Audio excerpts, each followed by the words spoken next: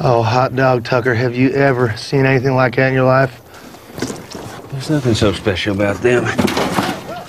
They're just your average college girls. Nothing average about that. You know something, Dale? She's just human. Why don't you go over there and talk to her? Talk to her? What? What in the world would I say? I don't know. Tell her that you got a vacation home. That'll probably impress her. Are you out of your mind, Tucker? These are college girls, okay? They grew up with vacation homes and guys like me fixing their toilets. You gotta have some faith in yourself, man. Girls can smell fear. Now, come on. You are a good looking man.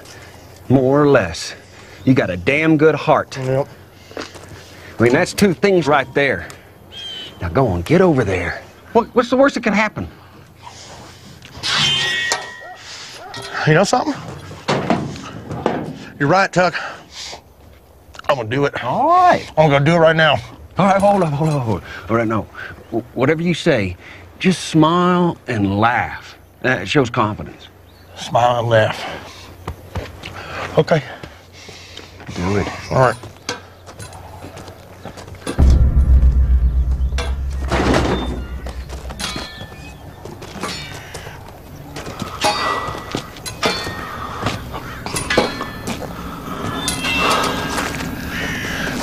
You guys, uh, going camping?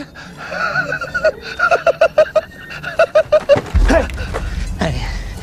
Now look, we don't want any trouble, all right? So just Okay, okay, oh, oh, okay, okay, okay, I'm sorry.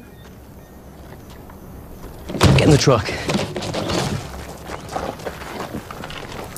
It's like a good looking cooler. Uh,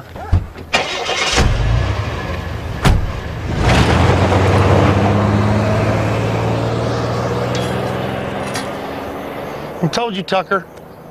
I'm a zero with the ladies. They hate my face. Come on.